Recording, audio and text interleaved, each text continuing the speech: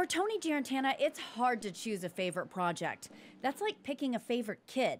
But if he had to, it would be the 505. 505 is, it's hard for me not to have a special place in my heart about 505. His one regret, it wasn't tall enough. 505 was originally approved for 60 stories. But when I went out to get capital, the capital was um, of the opinion that Nashville wasn't mature enough, wasn't ready for a 60 story building. So they took 15 stories off. I think that taller is better, and uh, hopefully, um, it'll probably happen after I retire, but I, hopefully the city will embrace tall buildings because I think that is our future. That's his motto, at least when it comes to his work, which is where his new favorite comes into play 1010 Church Street. It'll be bigger and, in his eyes, better than the 505. 505 was incredibly successful 178 condos on top of 350 apartments on top of 500 parking spaces.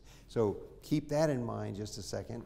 1010 is 140 condos on top of 360 apartments on top of 500 parking spaces. This project is his redemption for what the 505 could have been. His I told you so. 1010 is in every way kind of an improvement on 505. It'll be the tallest building in the state at 750 feet tall.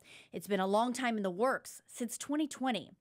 It's setting records in many ways, including the financing. If you asked 100 professionals around the world, could we do this in Nashville, Tennessee right now? 100 would say no.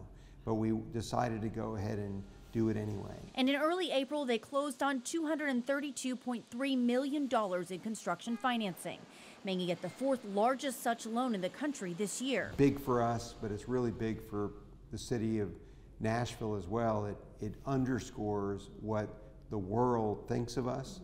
Um, they, it's not just us believing in ourselves, the world now sees that Nashville has a lot going on a lot going for it. Tony says this is the building that will define Nashville's skyline, even more so than the Batman building.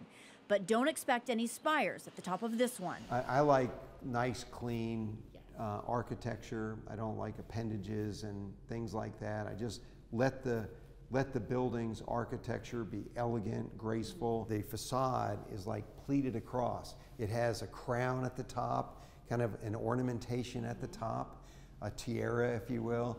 But this building is going to sparkle. 1010 will open up in 2027. Over the years, I uh, began to think that a building of 750 feet was my Moby Dick, and that someday I'm going to be wrapped up in harpoon cables and rolling around in the ocean um, uh, at my demise. But um, we're finally getting to do it, and I think the uh, city and the state will be very proud of this building. Nikki Burdine, News 2.